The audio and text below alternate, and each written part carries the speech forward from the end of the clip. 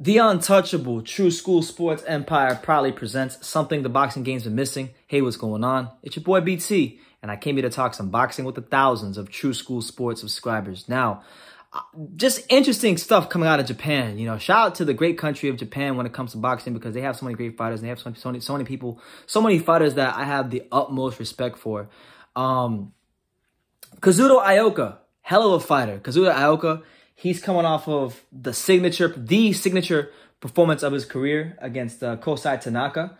And um, Kosei Tanaka, I mean, he for me, he was a pound for a pound for pound caliber fighter. I had I had him on my, my pound for pound list, and I picked him to win. A lot of people picking Kosei Tanaka to beat Kazuto Ioka, but Ioka uh, uses his experience, his strength, his size, his boxing skills, his his his, his um his just ring overall ring savvy to to to take advantage of uh, a lot of the mistakes that Kosei Tanaka was getting away with at the low weight classes. Um, and you know they were talking to Ismael Salas, who was the trainer, the great trainer of uh, Kazuto Ioka, and he said something that blew my mind because I, I I read the article and then I sat there and I pondered this for a second. So I want to get into what he said in regards to what the plans are for Kazuto Ioka. He said the following, I quote, um, that is what we are analyzing. He confessed to me that he doesn't want to stay in the sport much longer, but he is interested in moving up to bantamweight where he can make history as a five division champion. So far, these are only conversations and nothing is concrete. After the fight with Tanaka, he said that he doesn't want to fight in Japan anymore and that he wants to finish his career by fighting in the United States. There are several big fights that can be made at 115 and 118, including including a showdown against Naoya the Monster Inoue, which I think would interest the fans. My listen, we got we gotta tip our cap. I know nothing's certain, but the fact that Kazuto Ioka is entering the twilight of his career and he wants to do these things, it just shows you the kind of heart he has. It shows you the ambition he has. And you know what? Ioka versus Inoue, sign me up sign your boy BT up for that fight because when we talk about we talk about Kazuto Ioka, this is a guy that for a lot of years, in my opinion, you know, and I'm I'm, I'm as guilty of it as anybody here on Tru School Sports. Kazuto Ioka was getting overlooked by a lot of the boxing world, um, a lot of the boxing establishment, and I, I love what he's I love what his what, what his ambitions are because you know it's always a tough transition when you're a foreign fighter and you want to have a big fight in America because whether you like it or not, you know, America is the entertainment capital of the world. And it is it is not easy to come from your country, whether it be Japan or England or Canada or fucking Argentina. It's not easy to come to America in a in in in, in big time boxing and uh, perform well under them lights. It's just not. It's not. It's not. It's not easy to come to the mecca of boxing and do that.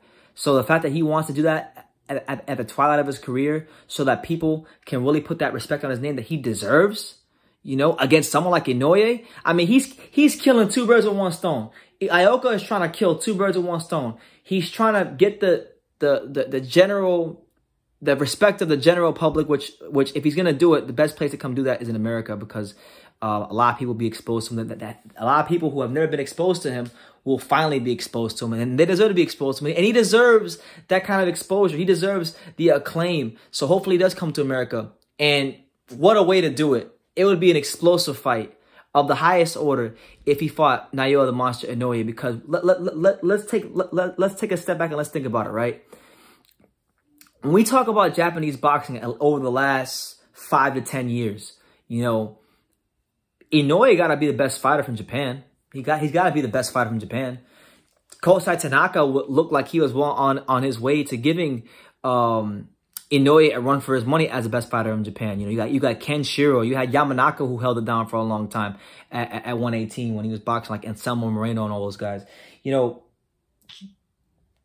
Ioka is in that mix. He's in that caliber of fighters from Japan. But like to me, if he goes up to, if, he, if this guy goes up to 118 and he fights Naoya the Monster Inoue and beats him after just beating Tanaka, that cements him as the greatest Japanese fighter of his era. That's what that, that, that's what that win does. That's the kind of win that puts you in the Hall of Fame and on the first ballot easily. Um, that's the kind of win that that makes you a legend forever. I mean, that that that's the kind of win, uh, you know, to beat Tanaka at 115. Then they come up to 118 and fight Inoue, who's undefeated, consensus top three pound for pound fighter on most lists. That's the kind of win that that that puts you in the Hall of Fame. It gets you remembered forever. They make statues about you. They write books about you. They make movies about you. They make musicals about you. That's the kind of win that it will be. So I love the ambition from Ioka. I love what I'm hearing from him. I hope that he follows through on on the plans that Ismael Salas is talking about because um, this is a guy that that wants to prove that he's great and he wants and he wants the world to put that general respect on his name. So shout out to the great warrior from Japan, Kazuto Ioka, who I overlooked for a long time, but he really um gave my respect. Now I, I know a lot of people are gonna say that um Ioka should really probably focus more on fighting like Chocolatito Gonzalez, you know, the real TBE. And that's a fight that he could have had years ago and, you know, he, it, it, didn't happen. A lot of people say he, he ducked Romeo Gonzalez.